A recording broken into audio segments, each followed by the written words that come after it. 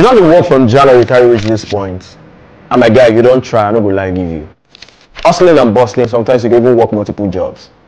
Upon everything, you still chop breakfast. but try, relax, calm down.